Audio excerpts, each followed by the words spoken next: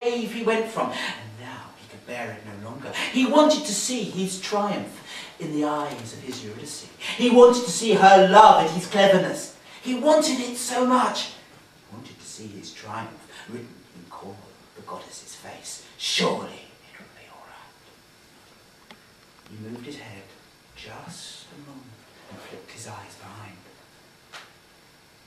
And for a moment he saw them, frozen in time, frozen in memory.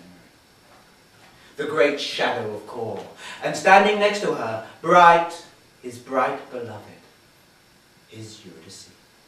And her face, he could never decide in after days what her face was. Whether it was a look, the eyes were looking in love, but the mouth was open. Was it horror, laughter, sudden shock, or perhaps blind acceptance? And then she was gone. And with her was gone the smell of roses, olives, and myrtle. Only the myrtle outside the cave smelled now. And he went back into the worlds of light.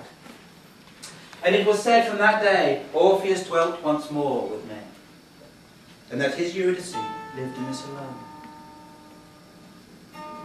In the songs he made of her. Songs, perhaps,